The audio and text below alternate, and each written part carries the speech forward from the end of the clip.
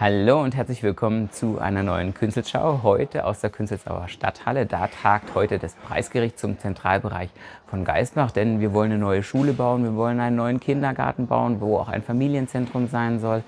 Wir bauen eine neue Mensa und auch ein Jugendzentrum und all das muss zusammengebracht werden und deshalb haben wir uns für einen Wettbewerb entschieden. 23 Arbeiten, 23 Arbeiten stehen heute zur Auswahl, auch mit Modell und wir sagen herzlichen Dank ans Preisgericht, die heute den ganzen Tag tagen bis heute spät in die Nacht und dann hoffentlich auch eine gute Auswahl für uns alle treffen. Wir werden euch auf jeden Fall über die Preisträger informieren und dann könnt ihr selber mal euch die Arbeiten anschauen.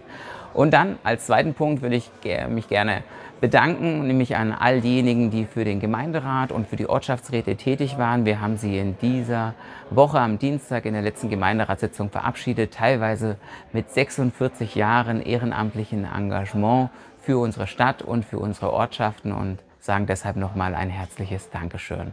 Und wenn wir auf die nächste Woche blicken, dann dürfen wir uns auch wieder freuen, nämlich Sommer in der Stadt ist wieder da oder läuft einfach weiter. Wir sind äh, zu Gast in Emmas Glück und heiß auf Lesen. Da haben wir die Stadtaktion dann am nächsten Freitag auch mit verlängerten Öffnungszeiten unserer Stadtbücherei. Vorbeischauen lohnt sich sowieso immer und wir haben ja einen großen Flohmarkt Freitag und Samstag in der Stadt.